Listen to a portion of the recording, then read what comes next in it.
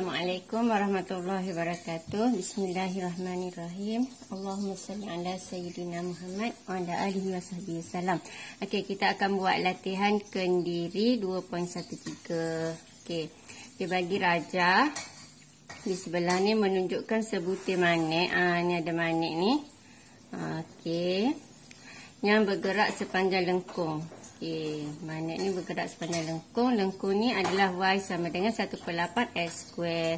Pada titik, aa, ni manik ni. Pada titik A42, kadar perubahan X.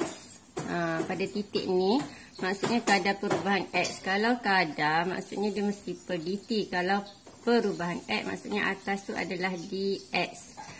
Bila kadar per DT sama dengan tiga. Okey. Cari kadar perubahan Y yang sepadan. Jadi nak cari ni adalah dy per dt. Ha, berapa? Okey. Yang diberi dx per dt. Okey, tengok ada persamaan tak langkah pertama? Okey, ada persamaan. Daripada persamaan kita cari dy per dx. Okey, 1 per 8 x square. Jadi bila kadar ni uh, dia akan melibatkan per dt lah. Okay, kita cari dy per dx dahulu. Okay, 2 darab depan. Jadi akan dapat 2 per 8 x kuasa ni tolak 1. Jadi x je lah. Jadi kita kecilkan dapat 1 per 4 x. Okey, kita tengok ada tak nilai x yang diberi. Ha, ni. Okey. Beri ni pada titik A 4 ni. So kita gantilah. Okey ada titik 4 2. So X ni kita ganti dengan 4. 1 per 4 darab 4. So dapatlah 1. Okey seterusnya. Uh, kita pun carilah dy. Kita nak cari dy per dt.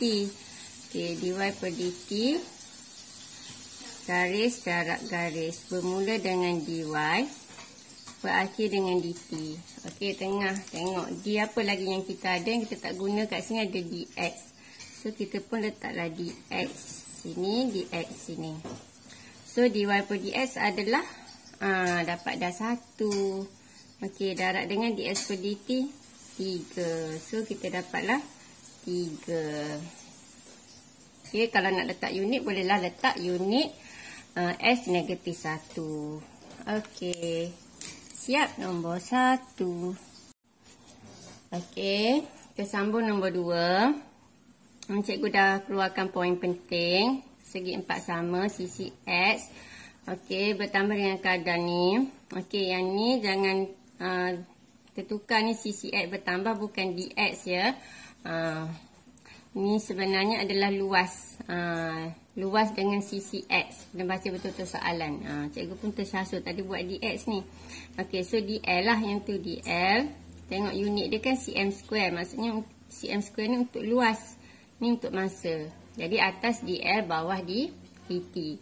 So DL DT lah sama dengan lah 8. Okey, lepas tu yang dia nak nak cari adalah panjang sisi apabila cari kadar perubahan panjang sisi. Maksudnya dx. Ha, kadar perubahan sisi dx.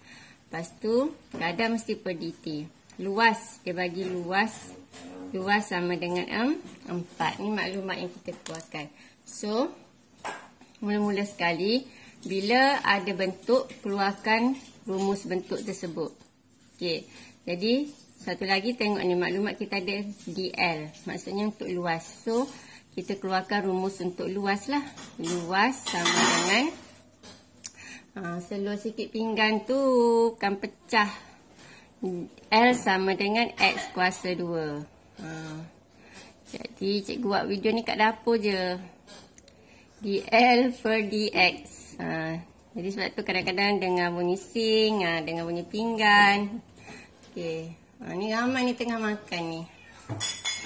So, 2 darab X jadi 2. 2X. Lepas tu. Um, jadi, X kita dah tahu ke belum? Ha, X tak tahu. Tapi dia bagi luas.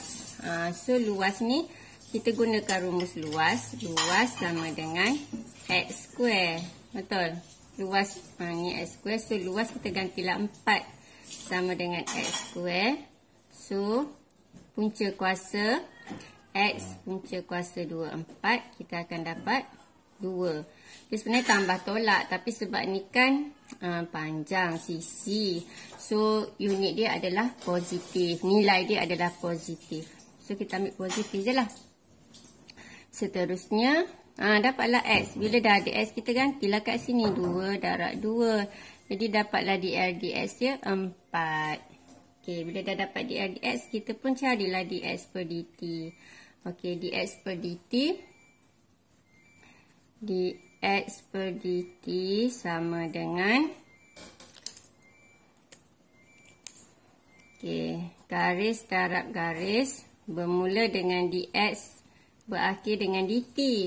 Okey, jadi tengah-tengah dia kita akan isi dia pun yang tak tulis lagi kat sini. Ah, dl tak ada lagi dl. Okey. So dx per dl ada tak? Eh, ni terbalik. Okey, kalau terbalik, kita terbalikkanlah dl per dx. Ini 4 ni per 1. So, kalau terbalik, okey, kita akan terbalikkan jadi 1 per 4. Faham? Ha, tak ada negatif positif eh. Maksudnya ikut je tanda asal. Kalau positif, positif lah. Negatif, negatif lah. Cuma terbalik atas bawah sahaja. Ingat tu. Okey, yang uh, apa tu? Yang terbalik atas bawah dengan tukar tanda tu yang se, uh, apa tu yang berserenjang. Lepas tu yang kecerunan normal dengan kecerunan tangent. Uh. Okey, untuk yang ni kita terbalik atas bawah je. So sini dapat 1 per 4. Darat dengan dl per dt dia adalah atas ni dah ada dah 8.